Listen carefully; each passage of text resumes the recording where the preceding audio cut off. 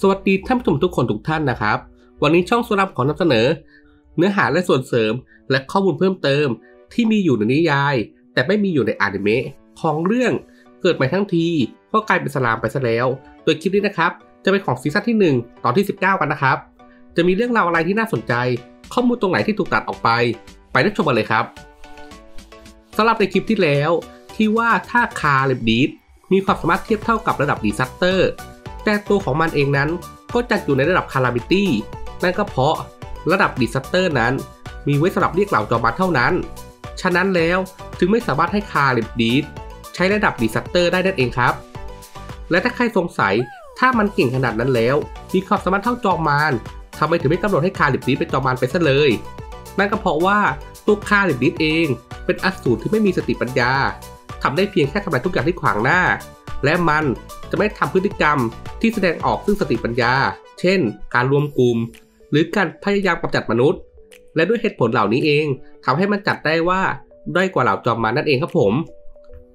และคาลิบดิสเอง ก็ยังเป็นสิ่งมีชีวิตในรูปแบบจิต ที่ต่อให้กายเนื้อจะดับสูญไป ก็จะสามารถฟื้นคืนชีพขึ้นมาใหม่ได้ ด้วยการหากายเนื้อใหม่จากที่ไหนสักแห่งหนึ่งนั่นเองครับผมสำหรับตัวคาริบดิสท่าที่มันปล่อยเกล็ดออกมาจำนวนมหาศาล เป็นการโจมตีที่อันตราย และความสามารถของท่าปล่อยเกล็ดนี้แหละครับ ที่ทำให้มันได้รับการขนานนามว่าเป็นจอมป่าเถื่อน ส่วนท่าโจมตีที่ปล่อยเกล็ดออกมามีชื่อว่า Tempest Scale หรือ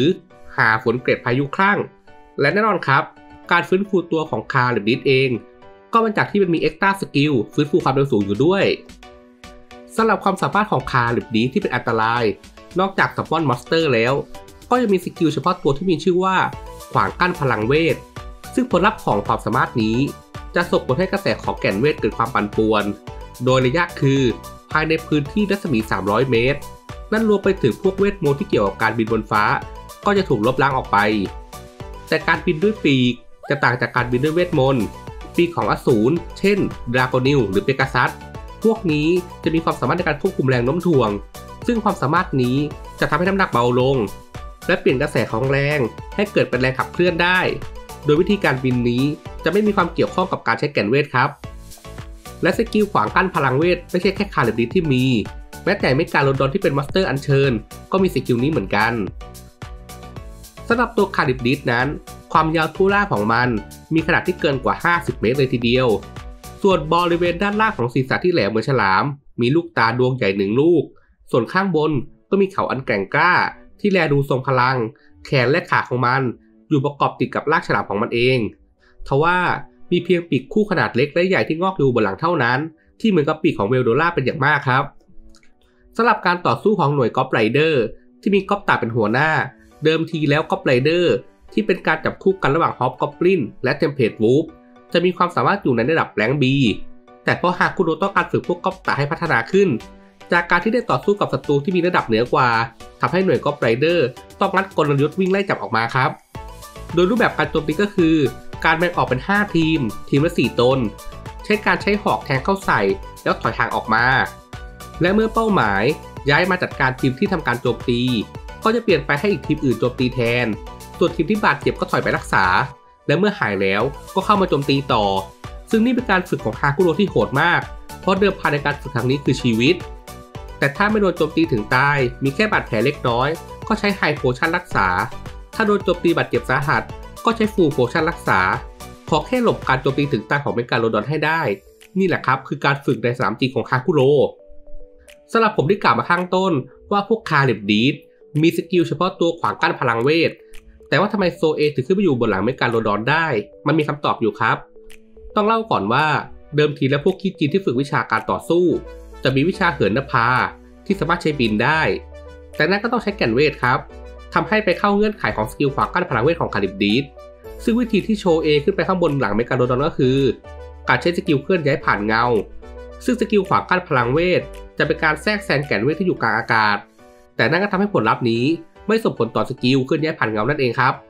ซึ่งวิธีที่ทำให้เกิดเงาบนหลังของเมกาโลดอน ก็คือให้พวกโซกะบินขึ้นไปบนฟ้า ให้อยู่เหนือกว่าเมกาโลดอน เพียงแค่นี้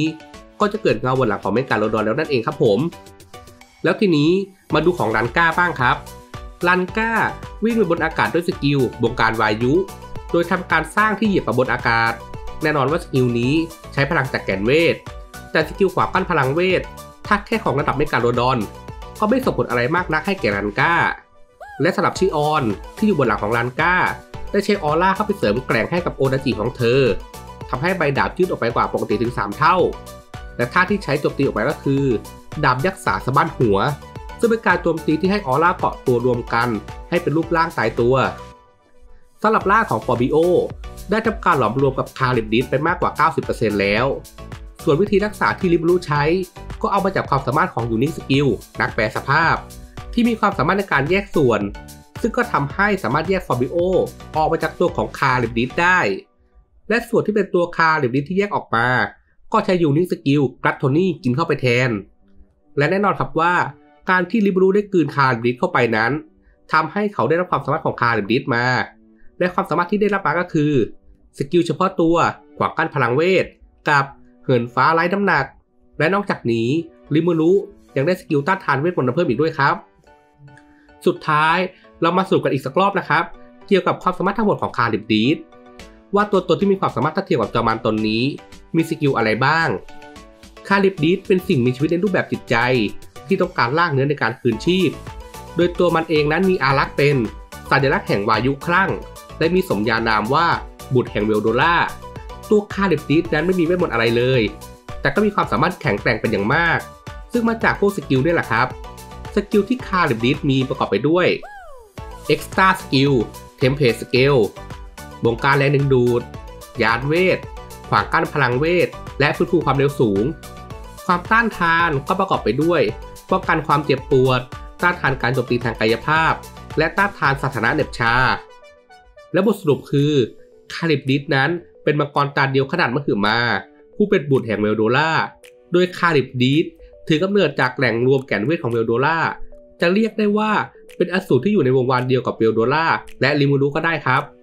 และตัวคาริบดิสเองไม่มีจิตสำนึกที่แน่นอนทำได้เพียงเคลื่อนไหวตามจิตจำนงในการทำลายล้างเท่านั้นครับผม และนี่ก็คือเนื้อหาทั้งหมดของคลิปนี้นะครับสำหรับเนื้อหาที่มีอยู่ในนิยาย แต่ไม่มีอยู่ในอนิเมะของเรื่องเกิดไปทั้งที ก็กลายเป็นสลามไปซะแล้วซีซั่นที่ 1 ตอนที่ 19 นะครับ เป็นอย่างไรกันบ้างครับ มีข้อมูลตรงไหนที่น่าสนใจไหมครับเอ่ยถ้าคุณผู้ชมถูกใจคลิปนี้นะครับ อย่าลืมช่วยกดไลค์กดแชร์กด subscribe ให้ช่องสลัมหน่อยนะครับ เพื่อเป็นกำลังใจให้ผมและทีมงานทำคลิปต่อไปนะครับสำหรับคลิปนี้ผมขอตัวลาไปก่อน แล้วเจอกันใหม่คลิปหน้านะครับ สวัสดีครับ